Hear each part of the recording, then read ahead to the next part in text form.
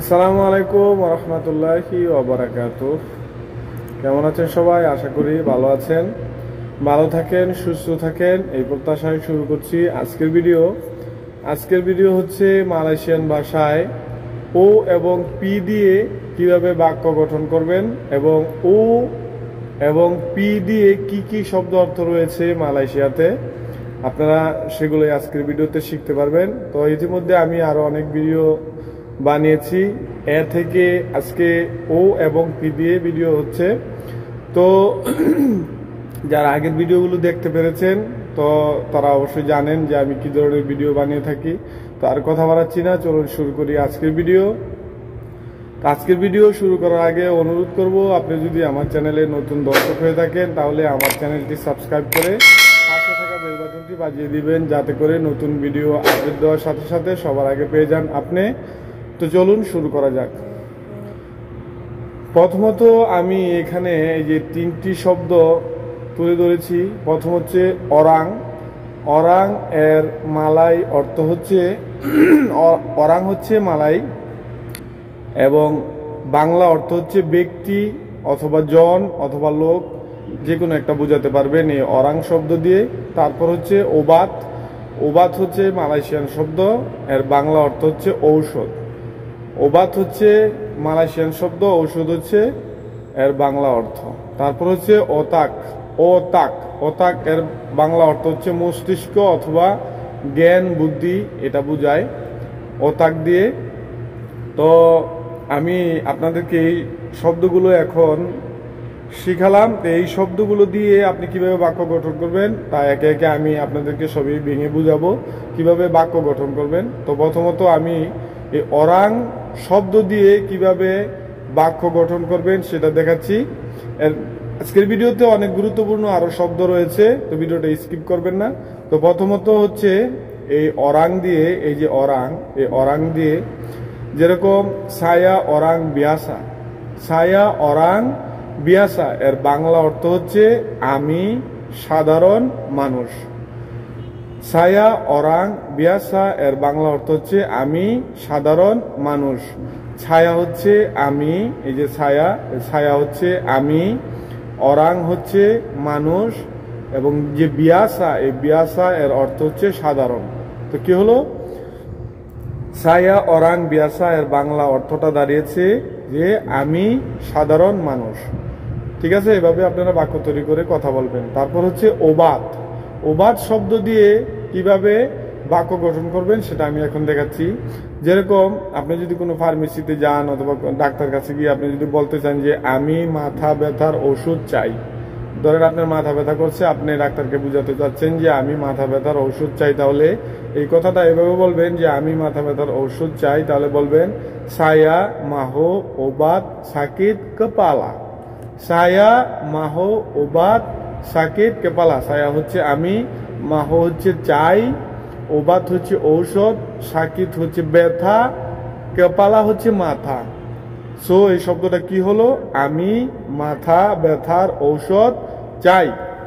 এই যে এখানে মাহো, এই মাহোর জায়গায় আপনি নাক শব্দ ব্যবহার করতে পারবেন। এন এ কে নাক। নাক এবং মাহো একই শব্দ। আঞ্চলিক আঞ্চলিক ভাষায় যদি আপনি কথা বলেন, তখন এই নাক শব্দটা ব্যবহার হবে, নাক এন এ কে নাক। তখন আপনি বলতে পারবেন, তো আর যেটা এখানে আমি তুলে ধরেছি, এটা হচ্ছে মাহো। মাহো এবং নাক একই শব্দ, আপনি যে কোনো একটা ব্যবহার করে বুঝাতে পারবেন। সায়া, মাহো, ওবাদ সাকিত কেপালা তারপর হচ্ছে ওতাক। ওতাক শব্দ দিয়ে কীভাবে বাক্য গঠন করবেন, সেটা আমি এখন দেখাচ্ছি। মনে রাখবেন, ওতাক শব্দের বাংলা অর্থ হচ্ছে জ্ঞান, বুদ্ধি অথবা মস্তিষ্ক।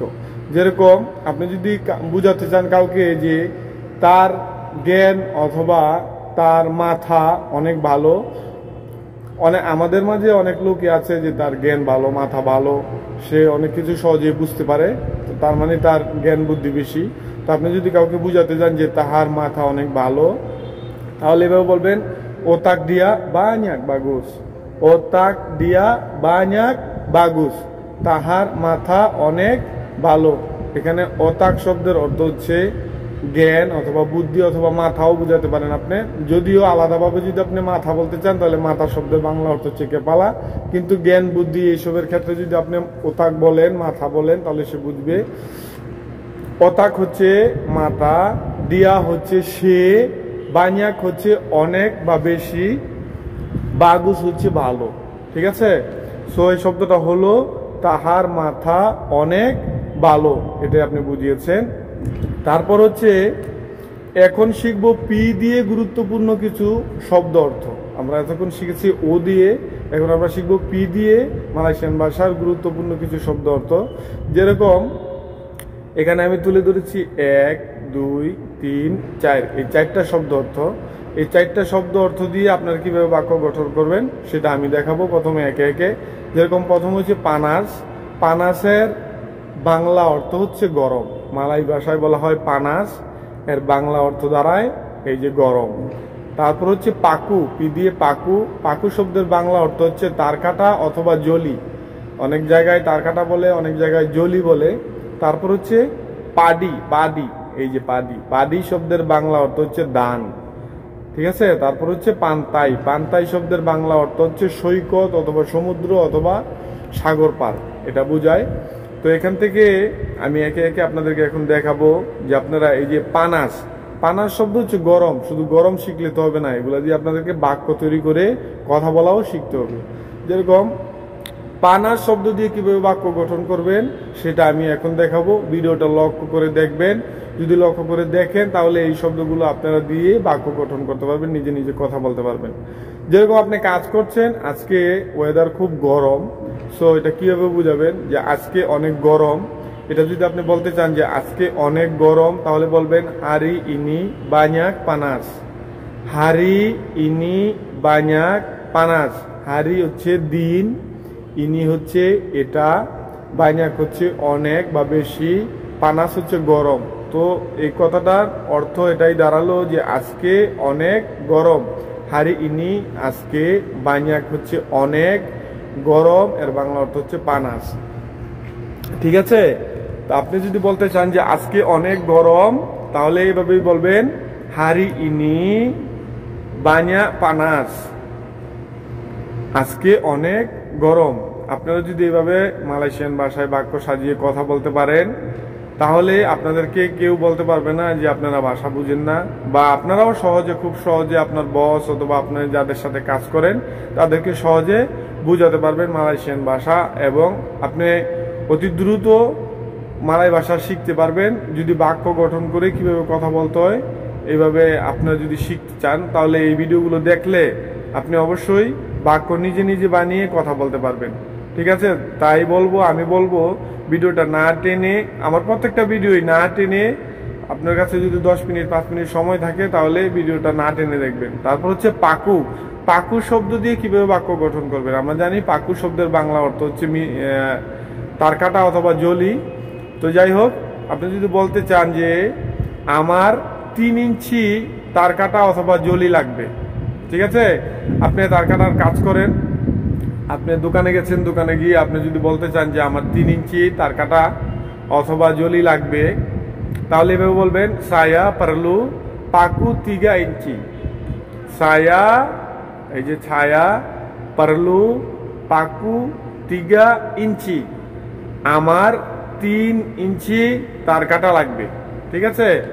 ছায়া হচ্ছে আমার। এই ছায়া শব্দটা অনেক সময় আমার বুঝায়, অনেক সময় আমি বুঝাই অনেক সময় মানে এই ছায়া শব্দটা আমি আরও অনেক ভিডিও বানিয়েছি।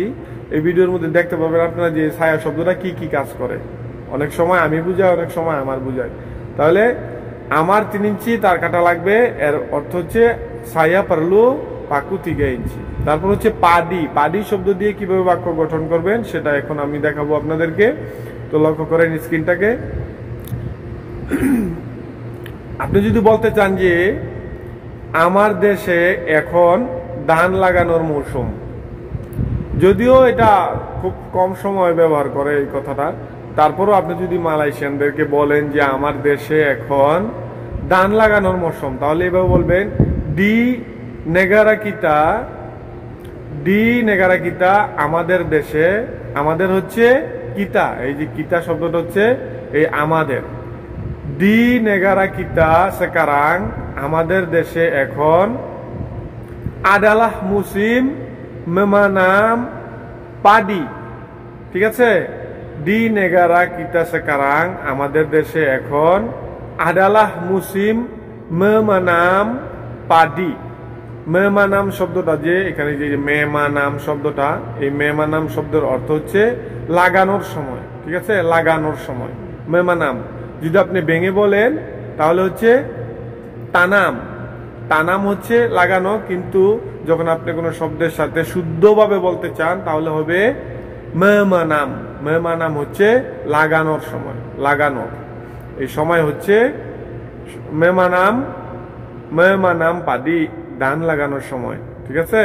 মেহমানাম হচ্ছে লাগানো পাডি হচ্ছে ধান তো কি হলো? আমাদের দেশে এখন ধান লাগানোর মৌসুম। ঠিক আছে? দিন এগারা কিতা সেকারাং, আমাদের দেশে এখন এখন হচ্ছে সেকারাং। এই যে এখন, এই এখনের অর্থ হচ্ছে সেকারাং। আর কিতা যে, এই যে কিতা কিতা শব্দের অর্থ হচ্ছে আমাদের এই যে দেশে, দেশের এর অর্থ হচ্ছে নেগারা। ডি ডি হচ্ছে নির্দিষ্ট স্থান। এই ডি শব্দের অর্থ হচ্ছে নির্দিষ্ট নির্দিষ্ট স্থান। যেহেতু আপনি বলেছেন আমাদের দেশে এই জন্য এখানে ডি শব্দটি ব্যবহার করা হয়েছে। তারপর হচ্ছে পান্তাই। এই পান্তাই শব্দ দিয়ে কীভাবে বাক্য গঠন করবেন, সেটা আমি এখন আপনাদেরকে দেখাবো। ভিডিওটা লক্ষ্য করেন, স্ক্রিনটা লক্ষ্য করেন। পান্তাই শব্দের অর্থ হচ্ছে সৈকত অথবা সাগর অথবা সাগর পার। ধরেন আপনি যদি কাউকে বলতে চান যে, চলো সমুদ্র সৈকতে বেড়াতে যাই। চলো সমুদ্র সৈকতে বেড়াতে যাই। যদি আপনি এই কথাটা কাউকে বলতে চান, তাহলে বলবেন, জুম কিতা পরগি জালান জালান দি পান্তাই জুম জুম শব্দের অর্থ হচ্ছে চলো। আপনি যদি কাউকে বলেন, জুম কিতা পরগি জালান জালান, চলো আমরা ঘুরতে যাই। আর যদি আপনি বলতে চান যে, জুম kita jum kita pergi jalan-jalan di pantai তাহলে এর অর্থ হচ্ছে, চলো সমুদ্র সৈকতে বেড়াতে যাই। আমরা বলি না, চলো সাগর পারে বেড়াতে যাই বা ঘুরতে যাই। এই কথাটাই এখানে বাংলা ভাষাটা শুদ্ধ করে তুলে ধরা হয়েছে এবং মালয়েশিয়ান ভাষাটাও শুদ্ধ করে তুলে ধরা হয়েছে। আপনি যদি এইভাবে বলেন, এইভাবে কাউকে বলেন, তাহলে তারা খুব সহজে বুঝতে পারবে যে আপনি সাগর পারে বেড়াতে যেতে বলতেছেন তার সাথে। ঠিক আছে? জুম কিত pergi jalan-jalan ডি পান্তাই। চলো আমরা, চলো সমুদ্র সৈকতে বেড়াতে যাই। ঠিক আছে? চলো সমুদ্র সৈকতে বেড়াতে যাই। এটা যদি আপনি মালাই ভাষা বলতে চান, এইভাবে বলবেন। তো আজকের ভিডিও এখানেই শেষ করছি। আশা করি ভিডিওটি আপনাদের ভালো লেগেছে এবং ভিডিওটি কেমন লেগেছে অবশ্যই কমেন্ট করে কমেন্ট বক্সে জানাবেন। আমার আরও অনেক ভিডিও রয়েছে। আমি আই আই বাটনে আপনাদেরকে লিঙ্ক দিয়ে দিব, অন্যান্য ভিডিওগুলি দেখতে, অথবা আমার চ্যানেলে সরাসরি ঢুকতে পারবেন, অথবা আপনি যদি ইউটিউব থেকে সার্চ করেন মালাই ভাষা ট্রেনিং সেন্টার তাহলে আমার চ্যানেলটা আসবে। সেখানে গিয়ে আমার চ্যানেলটা আপনারা সাবস্ক্রাইব করবেন, এবং আপনাদের কোনো প্রশ্ন থাকলে অবশ্যই প্রশ্ন করবেন, আমি ইনশাল্লাহ আপনাদেরকে উত্তর দিয়ে দিব। ততক্ষণ ভালো থাকবেন, সুস্থ থাকবেন।